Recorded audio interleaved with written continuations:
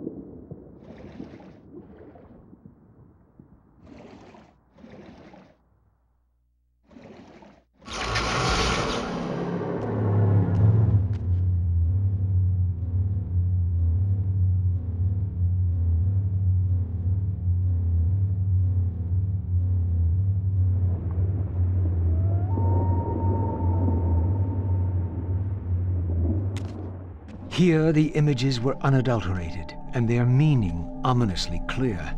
The vampire hero, the bearer of the Reaver Blade, was confronted by an adversary worthy of his powers. The enemy race, long banished, had a champion of their own, with flaming eyes and a fiery sword. The resemblance I bore to the adversary mocked all my hopes.